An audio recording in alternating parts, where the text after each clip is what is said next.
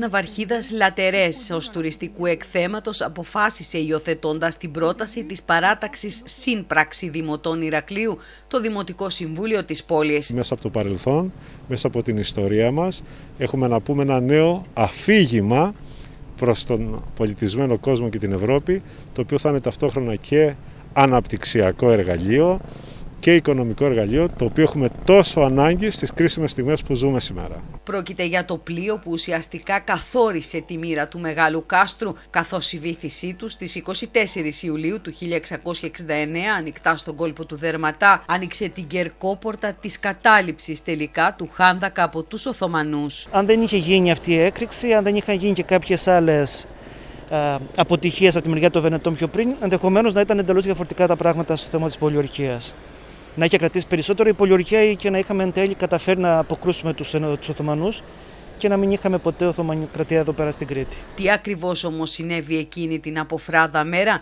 είναι κάτι που ελάχιστοι γνωρίζουν. Μετά από 22 χρόνια πολιορκίας, ε, επιτέλους οι εκκλήσεις οι μακροχρόνιες των ενετών για βοήθεια εισακούστηκαν και κάποιες ευρωπαϊκές χώρες έστειλαν βοήθεια, μεταξύ των οποίων και η Γαλλία. Οπότε αποφάσιστηκε να γίνει μια έξοδος από μεριά της ξηράς αλλά προκειμένου να έχει μεγαλύτερες πιθανότητες επιτυχίας, αποφασίστηκε πριν γίνει η έξοδος από μεριά ξηράς να παραταχθεί ο συμμαχικός στόλος στα ίδια σημεία και να κανονιοβολήσει για κάμποσες ώρες τους Τούρκους για να τους αποδυναμώσει. Τρεις ώρες μετά την, ε, το ξεκίνημα της επίθεσης, μια μεγάλη έκρηξη ακούστηκε.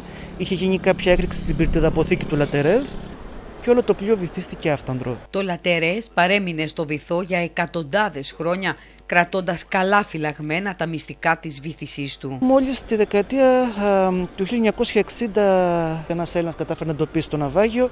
Λίγο αργότερα το 1976 ήρθε ο Κουστό και έκανε έρευνες και ανέστηκα κάποια αντικείμενα και η συστηματική ενάλια ανασκαφή έγινε το 1987. Η ανακατασκευή του Λατερέ θα γίνει στα πρότυπα του πλοίου Great Britain στο Bristol με στόχο τη δημιουργία ενός θεματικού πάρκου που θα καταστεί πόλος έλξης για τους τουρίστες. Έχουμε ανάγκη ειδικά σήμερα για ποιοτικό, για εναλλακτικό, για τουρισμό προστιθέμενης υψηλής αξίας και νομίζω ότι τέτοιες ενέργειες προσφέρουν προς αυτή την κατεύθυνση αλλά ταυτόχρονα είναι πολύ σημαντικό να επανασυνδεθούμε με την ιστορία. Η απόφαση του Δημοτικού Συμβουλίου Ηρακλείου προβλέπει τη δημιουργία επιτροπής που θα συγκεκριμενοποιήσει την πρόταση εμπλέκοντας κάθε πιθανό σχετιζόμενο φορέα. Θα ήταν καλό να προσκληθεί και η Γαλλική Πρεσβεία στην Ελλάδα εάν το επιθυμεί.